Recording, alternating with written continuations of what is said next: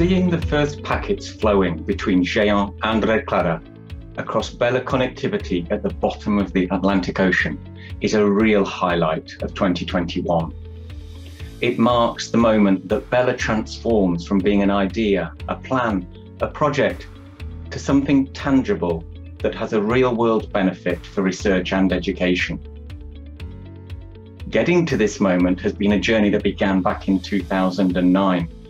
It was then that the seed for the idea of a direct connection between Europe and Latin America was first planted.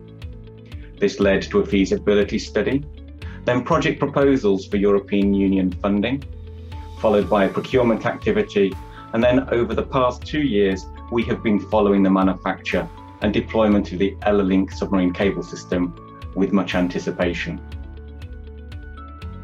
But equally important is the refresh of the Red Clara backbone in South America under the Bella T project, and also of the Géant backbone in Europe.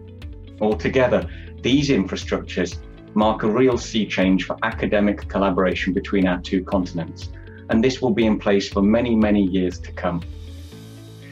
It has been a privilege to be a member of the Bella team that has brought about this great achievement. And I'm really looking forward to hearing the stories of how Bella has made that sea change for researchers and academics in Latin America and Europe and how they are able to work together.